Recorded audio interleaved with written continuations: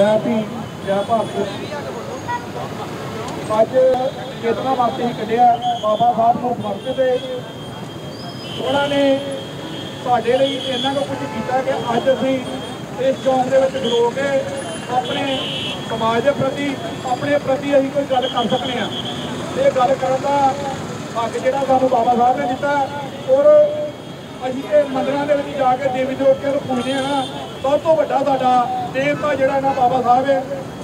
ਇਹਨਾਂ ਤੋਂ ਇਲਾਵਾ ਜੇ ਕੋਈ ਕਲਪਨਾ ਹੈ ਕਿਉਂਕਿ ਰੱਬ ਨੂੰ ਕਿਸੇ ਨੇ ਦੇਖਿਆ ਨਹੀਂ ਤੇ ਬਾਬਾ ਸਾਹਿਬ ਨੂੰ ਸਾਡੇ ਬਜ਼ੁਰਗਾਂ ਨੇ ਅਸੀਂ ਉਹ ਦੇਖਿਆ ਨਾ ਉਹ ਇਸ ਲਈ ਦੇਖਿਆ ਨਾ ਕਿਉਂਕਿ ਜਿਹੜਾ ਕਈ ਉਪਰਾ ਵਾਲਾ ਵੀ ਪੜ੍ਹਦੇ ਆ ਨਾ ਉਹ ਬਾਬਾ ਸਾਹਿਬ ਦੀ ਦੇਣ ਹੈ। ਮੈਂ ਗੱਲ ਕਰਾਂਗਾ ਕਿ ਸਾਡੀ ਭੈਣ ਮਧੂ ਰਚਨਾ। ਇੱਕ ਲੇਡੀ ਹੋਣ ਦੇ ਨਾਤੇ ਅੱਜ ਸਾਡੇ ਚ ਖਲੋਤੇ ਨੇ। ਕਿਉਂਕਿ ਇਹ ਪੜ੍ਹੇ ਲਿਖੇ ਨੇ। ਪੜ੍ਹੇ ਲਿਖਣ ਕਰਕੇ ਇਹ ਸਾਡੇ ਨਾਲ ਆਦਮੀਆਂ ਦੇ ਬਰਾਬਰ ਇਹ ਖਲੋਤੇ ਨੇ। ਅਸੀਂ ਚਾਹੁੰਦੇ ਹਾਂ ਕਿ ਜਿਹੜੀਆਂ ਸਾਡੀਆਂ ਧੀਆਂ ਭੈਣਾਂ, ਜਿਹੜੇ ਅਸੀਂ ਬੱਚੇ ਜੰਮੇ ਪਾਲੇ ਨੇ, ਜਿਹੜੀਆਂ ਸਾਡੀਆਂ ਧੀਆਂ ਭੈਣਾਂ ਨੇ ਮਧੂ ਰਚਨਾ ਜੀ ਇਹਦਾ ਪੜ੍ਹ ਕੇ ਉਹ ਸਮਾਜ ਦੇ ਵਿੱਚ ਵਿਚਰਨ, ਇਹ ਭੈਣ ਵਿਚਰਦੀ ਪਈ ਇਹਨਾਂ ਨੂੰ ਮੋਢੇ ਨਾਲ ਮੋਢਾ ਲਾ ਸਮਾਜ ਕਹੂਗਾ ਸਾਰਾ ਕੁਝ ਜਿੰਦਾ ਸਮਾਜ ਪਰ ਕੀ ਹੈ, ਇੱਕ ਨਵੀਂ ਚੀਜ਼ ਵੀ ਸਮਾਜ ਦੇ ਵਿੱਚ ਫੈਲੀ ਹੋਈ ਹੈ, ਨਸ਼ਾ। ਇਹ ਜਿਹੜਾ ਚੇਤਨਾ ਮਾਰੇ ਜੇ, ਅਸੀਂ ਨਸ਼ੇ ਦੇ ਖਿਲਾਫ ਬਾਬਾ ਸਾਹਿਬ ਨੂੰ ਸਮਰਪਿਤ ਹੈ, ਅਸੀਂ ਇਸ ਕਰਕੇ ਚਾਹੁੰਦੇ ਹਾਂ ਕਿ ਥੋੜੇ ਦਿਨ ਪਹਿਲਾਂ ਮੈਂ ਭਾਰਗੋ ਕੈਂਪ ਨੂੰ ਬਲੌਗ ਕਰਦਾ ਤਤਗੁਰ ਕਬੀਰ ਸੇਵਾ ਦਾ, ਸਤਿਗੁਰੂ ਕਬੀਰ ਟਾਗਰ ਫੋਟੋ ਨਾਲ ਮੈਂ ਜੁੜਿਆ ਹੋਇਆ ਵਾਂ। ਜਨਰਲ ਸਕੱਤਰ ਕਾਂਗਰਸ ਕਮੇਟੀ ਪੰਜਾਬ ਆ। ਪਰ ਜਿੱਥੇ ਵੀ ਜਥੇਬੰਦੀਆਂ ਮੈਨੂੰ ਮਾਨ ਸਨਮਾਨ ਅੱਜ ਵੀ ਮੈਂ ਦੋ ਪ੍ਰੋਗਰਾਮ ਬਾਬਾ ਸਾਹਿਬ ਦੇ ਅਟੈਂਡ ਕਰਕੇ ਤੇ ਤੀਜਾ ਪ੍ਰੋਗਰਾਮ ਮੇਰਾ ਆਇਆ ਵੇ ਥੋੜੇ ਦਿਨ ਪਹਿਲਾਂ ਇੱਕ ਮੁੰਡਾ ਬਹੁਤ ਵਧੀਆ ਉਹਨੇ ਕੱਪੜਾ ਲੱਤਾ ਪਾਇਆ ਹੋਇਆ। ਰਾਤ ਨੂੰ 10 ਵਜੇ ਨਾਲ, ਪੌਣੇ 10 ਵਜੇ ਨਾਲ ਮੈਨੂੰ ਕੰਮ ਤੋਂ ਉੱਠਿਆ, ਮਹੱਲੇ ਦੇ ਵਿੱਚ ਗੱਲਾਂ ਹੋਣ ਲੱਗ ਗਿਆ ਕਿ ਯਾਰ ਪਿਛਲੇ ਪਾਸੇ ਟੋਏ ਦੇ ਵਿੱਚ ਨਾ ਨਸ਼ਾ ਕਰਦਾ ਬੰਦਾ, ਉਹ ਮਰ ਗਿਆ ਕਿ ਜਿੰਦਾ।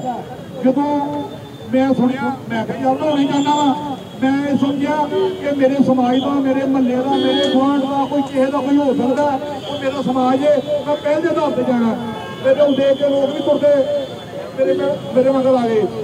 ਉਹ ਜਿਹੜਾ ਬੱਚਾ ਜਵਾਨ ਕਰਕੇ ਉਹਨੂੰ ਸਾੜਿਆ ਗਿਆ। ਕੋਈ ਕਹਿੰਦਾ ਲਾਂਡੇ ਦਾ, ਕੋਈ ਕਹਿੰਦਾ ਵਸੀ ਦੂਜਾ ਦਾ, ਕੋਈ ਕਹਿੰਦਾ ਕਿ ਤਾਂਜੋਂਦਾ ਦਾ।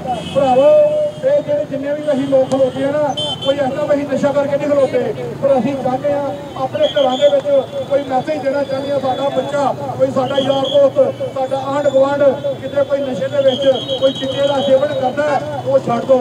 ਇਹ ਤੋਂ ਮਾੜਾ ਸਮਾਂ, ਮਾੜੀ ਗੱਲ ਕਿਤੇ ਨਹੀਂ ਹੋਣੀ ਇਸ ਕਰਕੇ ਅਸੀਂ ਚਾਹੁੰਦੇ ਆ ਕਿ ਜਿੰਨੇ ਵੀ ਭਾਅ ਅਸੀਂ ਪਹਿਰਾ ਦੇ ਰਹੇ ਆ ਜਿਹੜੇ ਲੋਕ ਸਾਡੇ ਘਰਾਂ ਦੇ ਵਿੱਚ ਬੈਠੇ ਨੇ, ਬੀਬੀਆਂ, ਭੈਣਾਂ, ਉਹ ਜ਼ਿਆਦਾ ਪਹਿਰਾ ਦੇ ਸਕਦੀਆਂ ਪਰ ਇਥੋਂ ਅਸੀਂ ਜੋ ਕੁਝ ਕਰਕੇ ਜਾਂਦੇ ਪਏ ਆ ਸਾਡੀ ਮੂਵੀ ਬਣਦੀ ਹੈ, ਸਾਡੇ ਵਿਚਾਰ ਜਿਹੜੇ ਨੇ ਉਹ ਘਰਾਂ 'ਚ ਜਾ ਕੇ ਸਾਂਝੇ ਕਰਦੇ ਨੇ। ਪਰ ਬੇਨਤੀ ਹੈ ਕਿ ਆਪਣੇ ਬੱਚਿਆਂ ਨੂੰ ਜਾ ਕੇ ਇੱਥੋਂ ਤੱਕ ਨਾ ਰੱਖਿਓ, ਆਪਣੇ ਬੱਚਿਆਂ ਨੂੰ ਸਮਝਾਇਓ, ਬੱਚਿਆਂ ਦੇ ਨਾਲ ਜੋ ਤੁਸੀਂ ਇੰਸਟਾਗ੍ਰਾਮ ਤੇ ਪਾਉਂਦੇ ਹੋ, YouTube ਤੇ ਪਾਉਂਦੇ ਹੋ, Facebook ਤੇ ਪਾਉਂਦੇ ਹੋ, ਇਹ ਲੋਕਾਂ ਤੱਕ ਮੈਸੇਜ ਜਾਵੇ ਕਿ ਜਿਹੜਾ ਨਸ਼ਾ ਹੈ, ਇਹ ਜ਼ਹਿਰ ਹੈ ਇਹਨੂੰ ਜਿੰਨਾ ਬੁਝਾਓਗੇ ਕਿਉਂਕਿ ਬੀਬੀ ਭੈਣ ਜਿਹੜੀ ਹੈ ਨਾ, ਜਿੱਦਾਂ ਝਾਂਸੀ ਕਰਾਣੀ ਹੈ, ਉਹਨਾਂ ਨੇ ਪਹਿਰਾ ਦਿੱਤਾ, ਤੇ ਅੱਜ ਅਸੀਂ ਦੇਸ਼ ਯਾਦ ਹੋਏ ਨੇ ਸਾਡਾ।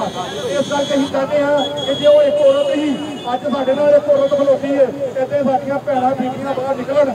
ਤੇ ਇਸ ਕਰਕੇ ਉਹਨਾਂ ਨੂੰ ਜਿਹੜਾ ਨਸ਼ੇ ਤੋਂ ਰਾਹਤ ਮਿਲ ਸਕਦੀ, ਕਿਉਂਕਿ ਜਦੋਂ ਅਸੀਂ ਸ਼ਾਮ ਨੂੰ ਰੋਟੀ ਬਣਾਉਂਦੇ ਆ ਨਾ, ਸਾਡੇ ਕੋਲ ਰੋਟੀ ਨਹੀਂ ਖਾਧੀ ਜਾਂਦੀ। ਬੱਚਾ ਸ਼ਰਾਬ ਪੀਤੀ ਹੋਏਗੀ, ਨਸ਼ਾ ਕੀਤਾ ਹੋਏਗਾ, ਬੰਦੇ ਨੇ ਕੀਤਾ ਹੋਏਗਾ, ਉਹ ਮਾਰ ਕਮਾਈ ਕਰੇਗਾ ਉਹ ਬੱਚਿਆਂ ਤੇ ਮਾੜਾ ਪ੍ਰਭਾਵ ਪੈਂਦਾ ਇਸ ਕਰਕੇ ਜਿੰਨਾ ਵੀ ਹੋ ਸਕਦਾ ਬੱਚਿਆਂ ਨੂੰ ਪੜਾਓ ਲਿਖਾਓ, ਪਹਿਰਾ ਦਿਓ। ਜੋ ਤੁਹਾਨੂੰ ਬਾਬਾ ਸਾਹਿਬ ਨੇ ਦਿੱਤਾ ਹੋਰ ਸਾਨੂੰ ਕਿਸੇ ਵੀ ਦੁਨੀਆ ਦੇ ਵਿੱਚ ਇਹ ਚੀਜ਼ ਨੇ ਕਿਤੇ ਨਹੀਂ ਮਿਲਣਾ ਜੈ ਭੀਮ, ਜੈ ਭਾਰਤ, ਜੈ ਕਬੀਰ, ਧੰਨ ਕਬੀਰ। ਅਗਰ ਮੈਂ ਕਿਤੇ ਵੀ ਕੋਈ ਇਦਾਂ ਦਾ ਕੋਈ ਸ਼ਬਦ ਬੋਲੇਗਾ ਮੈਂ ਸ਼ਮਾ ਦੇ ਜਾਂਦੇ ਜੈ ਭੀਮ, ਜੈ ਭਾਰਤ।